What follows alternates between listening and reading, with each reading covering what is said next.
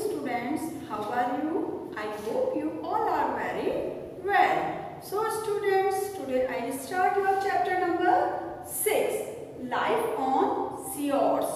Seahorse मतलब seahorse मतलब क्या होता है समुद्र के किनारे की लाइफ बीचेस वहाँ पर पेड़ पौधे एनिमल्स किस तरह रहते हैं डेट कॉल सी और sea horse life number fill in the blanks okay now students i write down the answer here i read the question from the book and you also open your book chapter number 6 first hai contain a huge variety of creatures variety of creatures which can adapt to the constant changes from wet to dry as a tide roll in and out समय को हम क्या कहते हैं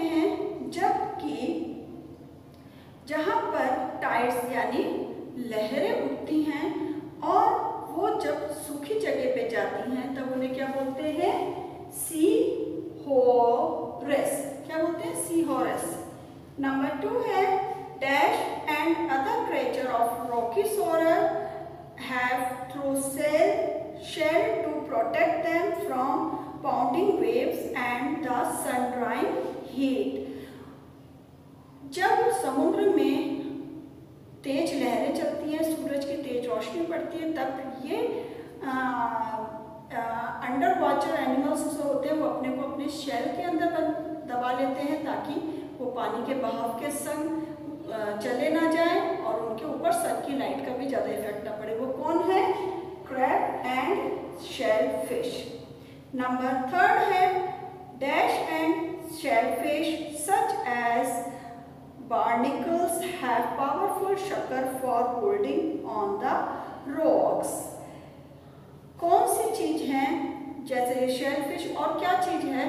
जो कि अपने आप को खूब पावरफुल शक्कर या शक्कर यानी काफ़ी ताकतवर से चीज़ों को अपने अंदर सक कर लेते हैं, खा लेते हैं और किनारों में भी जमे रहते हैं। कौन है वो? Anemones and star fish anemones होते नंबर फोर है dash are the best rock clingers and can only be prised away if caught by surprise limpets are recognise by their cone shape shells which are like a chain man Chinaman's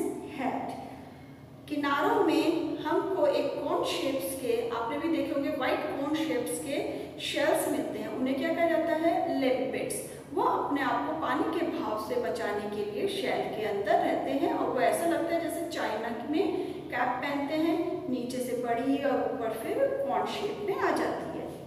Limpets four answer is limpets number five है dash में live on hermit cap shells finding out on its left over by protecting it with their strings tentacles tentacles ये वो हैं, वो पौधे हैं या वो छोटे जानवर हैं जो अपने आप को लेफ़्ट ओवर यानी बचे हुए चीज़ों में बचा लेते, अंदर घुसा लेते हैं और जो इनके टेंटेकल्स होते हैं साइड्स के होते हैं, वो बहुत शार्प होते हैं। कौन है ये?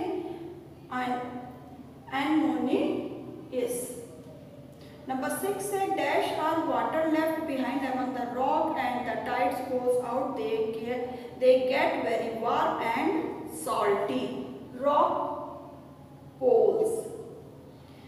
Savina rock pool craters include shrimps, dash, anemones and fish such as ants, blends and gobies. Answer is hermit crab. crab.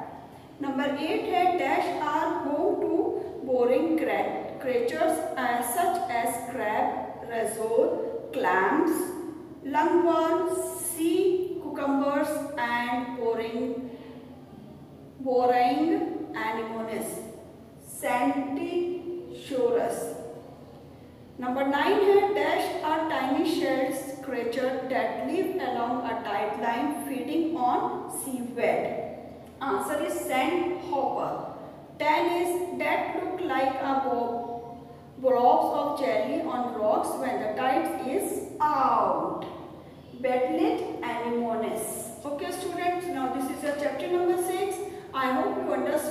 Chapter. Okay, have a nice day. Thank